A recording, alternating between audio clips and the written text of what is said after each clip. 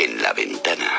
Verano en Alaska. En Alaska, que es nuestro psicólogo de cabecera, Rafael Santandreu, que bueno, está en Barcelona y pasando este verano en Alaska con nosotros. Rafael, ¿qué tal? Buenas tardes. Buenas Muy tardes. bien, ¿Cómo estás? encantado de estar aquí. Una última tarde, ¿verdad? Sí, la última tarde, la última tarde. eh, bueno, Rafael Santandreu ya, ya ha pasado el tiempo volando y eso que hemos tenido más semanas que nunca este, este año, ¿no? Por las circunstancias que han hecho que la programación de verano sea al menos una semana más larga. Bueno, eh, Rafael Santandreu es nuestro psicólogo de cabecera, es autor de éxitos, lo conocen, lo conocéis muchos de, de vosotros, de, de libros como Nada es tan terrible, La filosofía de los más fuertes y, y felices. Y bueno, él propone, a raíz de algunas noticias, de, de algunas noticias, algunos hechos, que en este caso el primero tiene que ver con un personaje que mm, es probable que no todos conozcamos, es este, este hombre.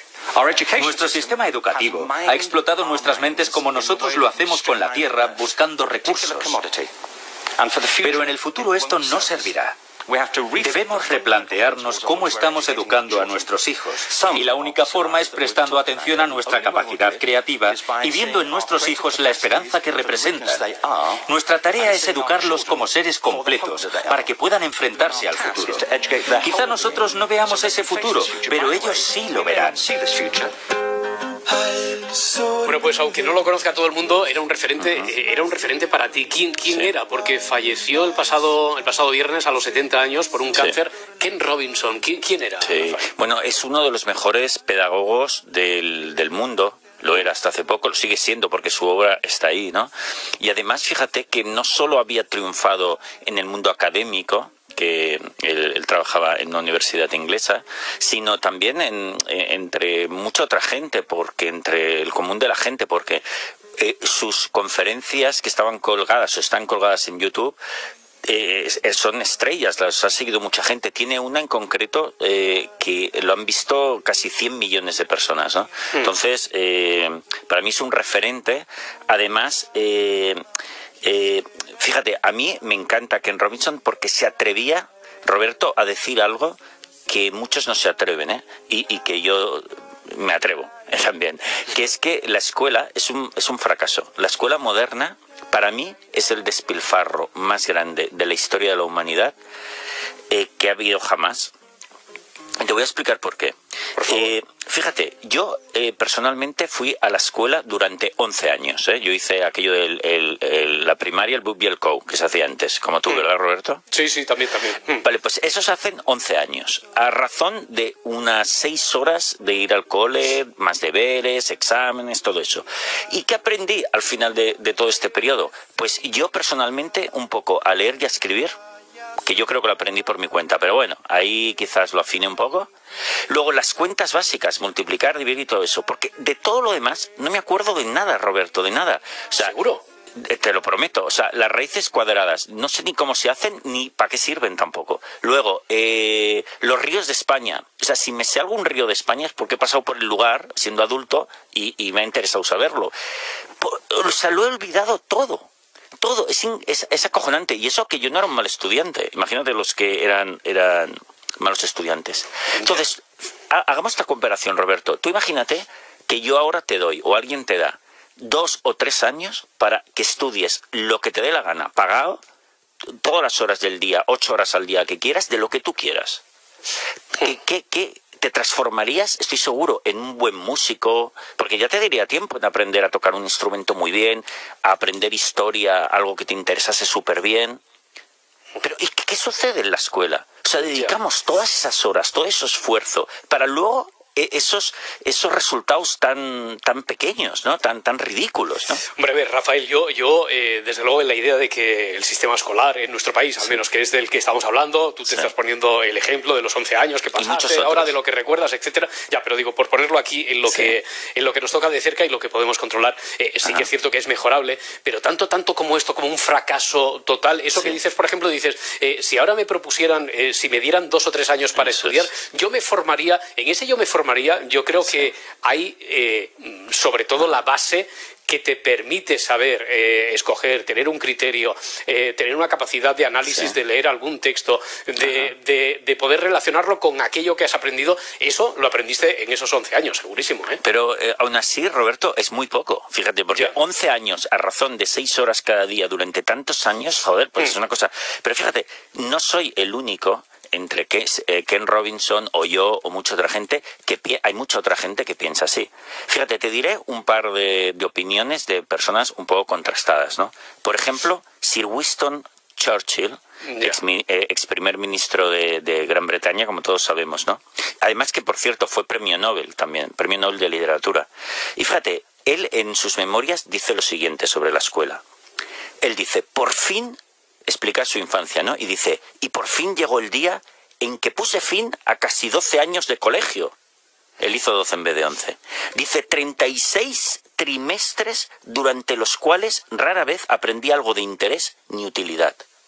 Dice, volviendo la vista atrás, aquellos años forman el periodo más estéril de mi vida. Y otro, si quieres, venga, vamos a añadir otro. El también premio Nobel George Bernard Shaw, escritor, premio Nobel, y dijo lo siguiente, desde muy niño tuve que interrumpir mi educación para ir a la escuela. Eh, lo, dice de una manera más simpática. O sea, muchas personas, Roberto, de reconocida inteligencia y valía, están de acuerdo con esto. Sí, no, no, sí, yo eh, lo único que no, no tengo una mirada tan, tan dura, tan categórica, tan ácida incluso sobre, sobre la utilidad que tiene. Sí que es cierto que se premia la memorización y como decía un profesor mío, después llegar al examen para vomitar aquello que has aprendido, eh, las referencias estas que ponías tú de los ríos de España, pues al final nos, nos quedan los tres o cuatro en el mejor de los casos, pero no aquello que estuvimos estudiando tres tardes, porque eso después, como lo has memorizado, no lo has interiorizado, pues eh, es lógico que, quede por ahí perdido en un lugar de nuestra, de nuestra memoria. Pero, y, a ver, en tu opinión, eh, Rafael, ¿cómo debería ser el colegio? ¿Cómo debería ser la escuela? Pues fíjate, esto es la segunda noticia fuerte, si quieres, del día de hoy, que tengo que, que dar. Y es que el lo esencial es que el aprendizaje tiene que ser libre, siempre, voluntario. Es por definición eh, todo lo que se enseña a la fuerza, con exámenes, con amenazas, con obligaciones, está destinado al fracaso, a olvidarse. Tan rápido como se memoriza, se olvida. Entonces, fíjate cómo debería ser, Roberto. Las clases deberían estar completamente abiertas y los chavales tan libres de irse al patio a jugar a pelota como de entrar en la clase de matemáticas. Ahora bien, es la obligación del profesor hacer más interesante la clase de matemáticas que estar jugando a pelota. Ese es el verdadero trabajo del profesor. Es complicado hacer más interesante en las matemáticas y en según qué cursos y con según qué motivaciones hacerlo más interesante que jugar al fútbol. Eso, es, difícil, ¿no? Roberto, Roberto, pero esto es porque nadie, como a mí tampoco lo hicieron, ¿eh? nadie te ha mostrado que las matemáticas pueden ser más guays que estar un rato jugando a fútbol, de verdad. Yo, por ejemplo, pienso que, que la psicología, por ejemplo, para mí es tan interesante o más que hacer deporte. Lo es. Ambas cosas están por igual o más. Y yo estoy seguro que para ti, periodismo la comunicación, tú has descubierto que también lo es. Por lo tanto, eh, si el saber es maravilloso, si alguien te, te, hace ver que ese saber es maravilloso, esa es la clave. Hmm. Pero eso, eso, que, eso que planteas, que está desde luego muy bien, es muy motivador, eh, esto parece casi una utopía, ¿no? Eh, ¿Existe algún, eh, alguna escuela, algún sistema educativo así que nos pueda servir de referencia? Y tanto, y tanto, Roberto, existen un montón de escuelas que este tipo de escuelas se llaman escuelas libres. Y una de las pioneras es muy famosa, se llama Summerhill, está en Inglaterra también, y, llevan desde los años 50 que existe Summerhill, ¿no? Y de ahí han salido muchas generaciones de, de, personas que sobre todo, bueno, la primera cosa es que han logrado resultados igual que la escuela obligatoria o mejores. Y segundo, han producido gente feliz. Esto es lo importante.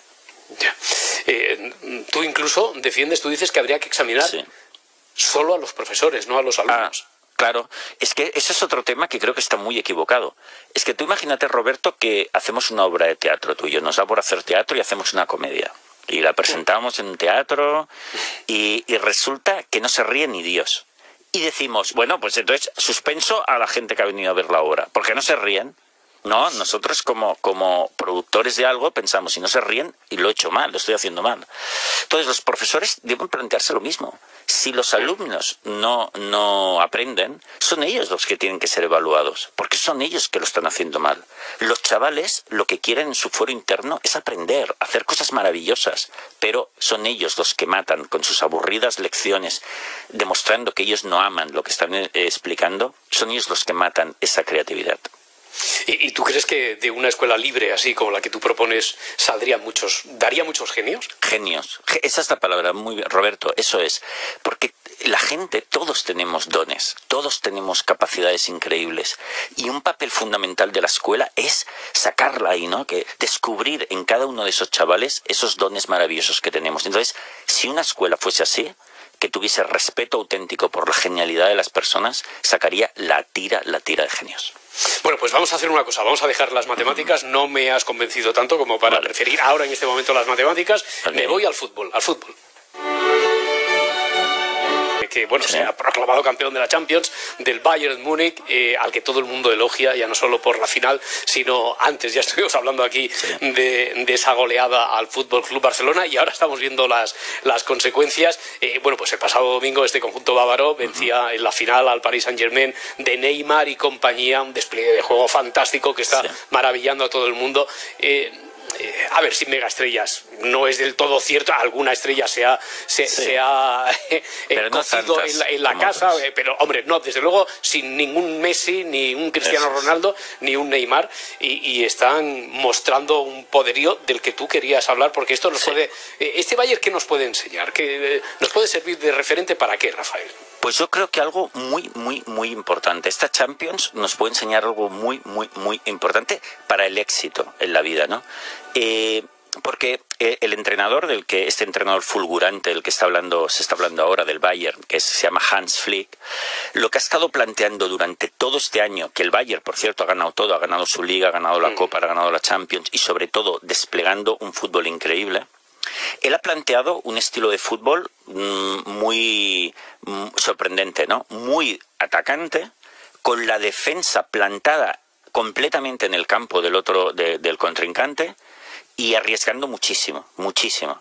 Y sin embargo, eh, han tenido un éxito brutal y todo ha conseguido que todo el equipo confíe en esa apuesta que ya te digo es única, ¿eh? lo que se ha hecho el fútbol hasta ahora. Entonces me, eh, es muy interesante porque me sirve para explicar las, una cosa que yo llamo las dos normas del abuelo Rafael, mi abuelo. ¿Y, cuáles son esas dos reglas, las dos normas de, tu abuelo, Rafael? Sí, bueno, son dos normas que decía mi abuelo, pero que mucha gente de antaño mantenía, ¿eh? y que son fundamentales para la psicología del éxito, que son lo que empiezo, lo acabo, y lo que he dicho que iba a hacer, lo cumplo, lo hago. Eh, esto tomamos nota, ¿no? Eh, porque esto hay que grabárselo así un poquito a fuego. A, ver, lo de lo que empiezo, lo que empiezo lo acabo y lo que he dicho que iba a hacer, lo hago. Vale. Eh, ¿Por qué son tan vitales? ¿Por qué son tan importantes estas Mira, normas? Porque en, la vida de las personas es normal que tengamos emociones negativas.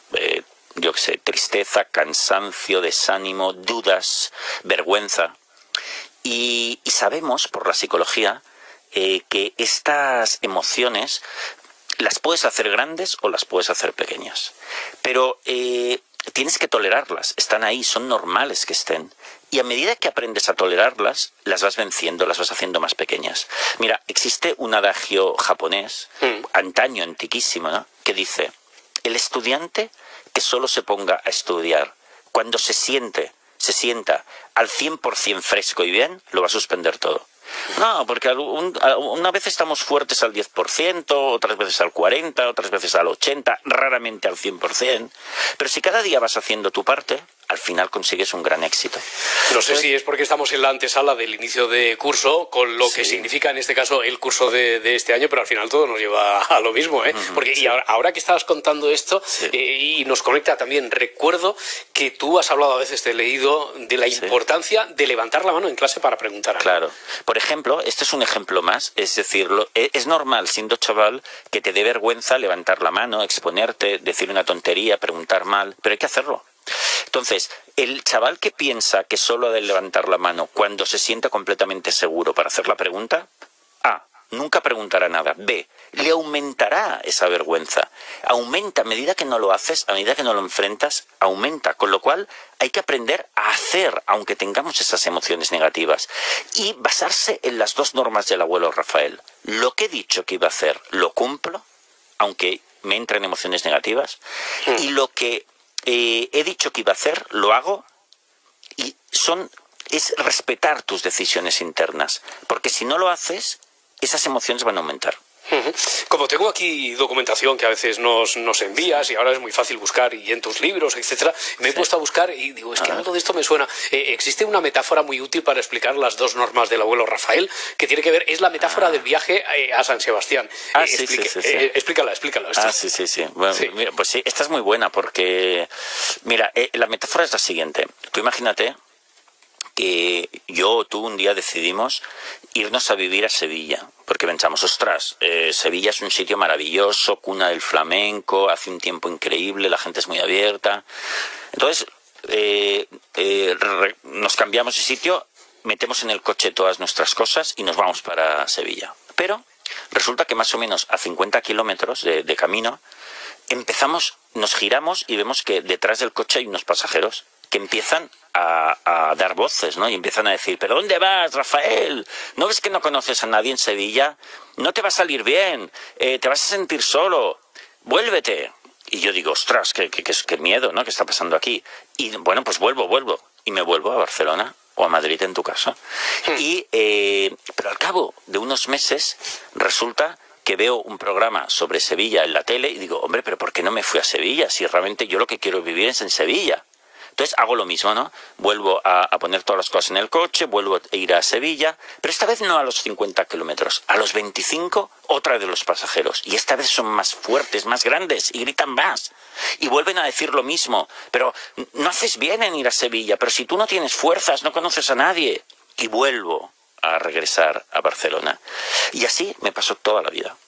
Eh, toda la vida pensando en lo que podría hacer, lo que me gustaría hacer, pero tengo las emociones negativas tan grandes que no me atrevo a hacer nada. Esta metáfora explica lo que sucede cuando a la larga no respetas las dos normas del abuelo Rafael. Rafael. Lo que empiezo lo acabo y lo que he dicho que iba a hacer lo hago. Da igual que el civil, la metáfora sea a Sevilla o a San Sebastián, porque yo no sé si te he dicho a un sitio a otro, pero bueno, ah, da, lo mismo. Oye, y también hay pensamientos automáticos que surgen como un resorte asociados a, ese tipo de emociones, a ese tipo de decisiones, ¿no? Exactamente, cuando las emociones negativas siempre se expresan también con pensamientos, ¿no? Que las justifican, ¿no? Por ejemplo, me entran dudas, ¿no? ¿Me debería casar o no casar? Y empiezan las dudas absurdas cuando tú ya habías decidido que lo hicieras pues si lo habías decidido, cumple. Pero entonces te vienen pensamientos eh, y, la gente se, enreda en esos pensamientos intentándolos apaciguar. No, es simplemente la emoción negativa que las tienes muy crecidas y, y tienes que cumplir las dos normas del abuelo Rafael y cerrar tu mente. Ahora voy a hacer un poquito de abogado del diablo, Rafael, porque como tú siempre dices y partes de la máxima de que, bueno, eh, nada es tan terrible, ¿eh? ponemos al título de tu último libro, no pasa nada. Oye, pues, ¿y, qué pasa? ¿Qué, nos puede suceder si no respetamos eh, nuestras decisiones? Vale, bueno, ¿no? Tampoco te vas a morir, es cierto, no tendrás éxito. Mira, la primera, la primera consecuencia es que no vas a tener éxito. Es verdad que no pasa nada, porque no necesitamos tener éxito en la vida. Pero es verdad que si no cumples las dos normas del abuelo Rafael, también te va a entrar mucha confusión en tu vida.